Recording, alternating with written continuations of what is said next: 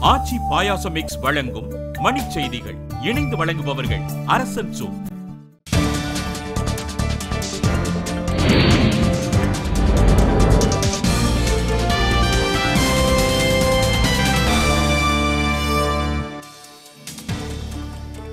தமிழக சட்டப்பேரவை வைர விழாவில் திமுக பங்கேற்காது என கருணாநிதி அறிவிப்பு.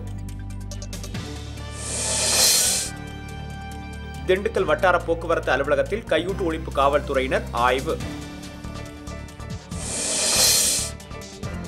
சென்னை அஞ்சல் அலுவலகங்களில் வரும் மூன்றாம் தேதி ஏழு விழுக்காடு தள்ளுபடியில் தங்க நாணயம் விற்பனை. தூத்துக்குடி மாவட்டம் புதுக்கோட்டை அருகே பெண்ணை கொலை செய்து முட்புதருக்குள் உடல் வீச்சு.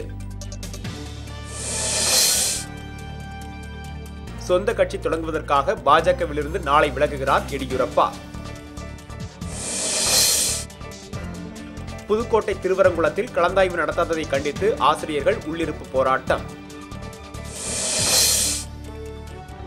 பால் தாக்கரே குறித்து சமூக வலைதளத்தில் கருத்து வெளியிட்ட பெண்கள் மீது தொடரப்பட்ட வழக்கு ரத்து.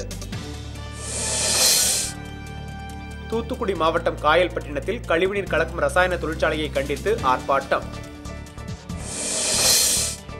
மேற்கு வங்க முதலமைச்சர் மம்தா பானர்ஜி சகிப்புத்தன்மை இல்லாமல் செயல்படுவதாக நீதிபதி மார்க்கண்டேய கட்ஜு கண்டனம்.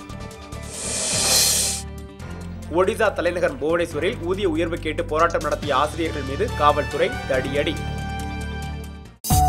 ஆச்சி பாயாசம் மிக்ஸ் வழங்கிய மணிச் செய்திகள். இணைந்து வழங்கியவர்கள் அரசன் சோ